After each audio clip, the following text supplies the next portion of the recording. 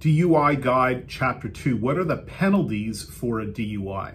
Now, if you're convicted of a DUI charge, whether you entered a guilty plea or you were found guilty after a trial, you're going to face a series of serious penalties.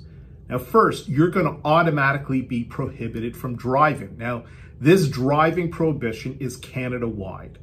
And you're also going to be subject to a fine, jail, or probation, or some combination of all three. Now, you're going to face a range of penalties. And the reason why it's the serious nature of DUI charges. And because of this serious nature, the lawmakers have given the judge a wide range of penalties to be applied to your case based upon the specific facts of your case. Now, generally speaking, the more severe your case's facts are, for example, if someone was hurt or killed in an accident, then the more severe the penalty you're going to face. However, the judge, they're just not free to do whatever he or she wants. The judge must follow specific sentencing guidelines. Now, these minimum sentence guidelines the judge has to follow. And conversely, there are maximum limits to which the judge can impose against you. Generally, it's between the minimum and maximum penalties where the judge has flexibility in the penalties that you face. So let's go through this in a little more detail. What are the minimum and maximum penalties that you're going to face with a DUI conviction?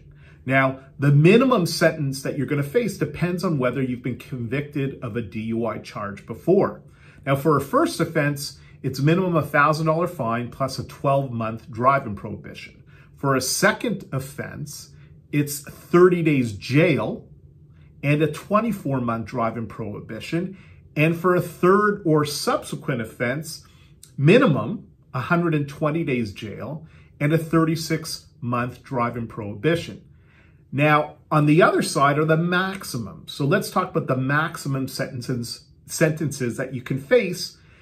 And, and the, these maximums really are going to depend on how the Crown intends to prosecute your case and whether someone was hurt or killed as a result of your DUI. Now, if no one was hurt or killed, the Crown has the option to proceed with your case in a relatively less severe context. And, and that context is known as proceeding by summary conviction.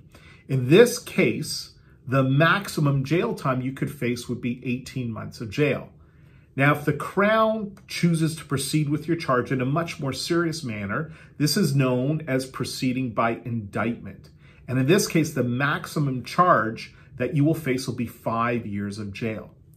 Now, if another person was hurt and suffered, you know, significant bodily harm because of your DUI, the maximum sentence that you will face will be 10 years of jail. And if another person was killed because of your DUI, the maximum sentence you would face would be life in prison.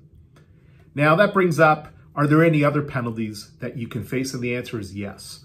Um, both federal and provincial driving suspension. So as we said, you're going to face a driving prohibition from the Criminal Code of Canada, which is federal law, but you're also going to be facing a license suspension under provincial laws. Second, you may be subject to civil lawsuits. So if you hurt or killed another person in the context of your DUI charge, that other party may launch a civil lawsuit against you. Now, in a criminal context, the burden of proof is beyond a reasonable doubt. But in a civil lawsuit, the burden of proof is only a balance of probabilities, which is significantly less than the criminal context. And because you were convicted in a criminal context, you most likely will lose any civil case against you. And finally, if you're able to drive again, your insurance will dramatically increase because your DUI conviction is going to place you in a high risk category. And if you can drive again, the cost to get insurance will increase significantly.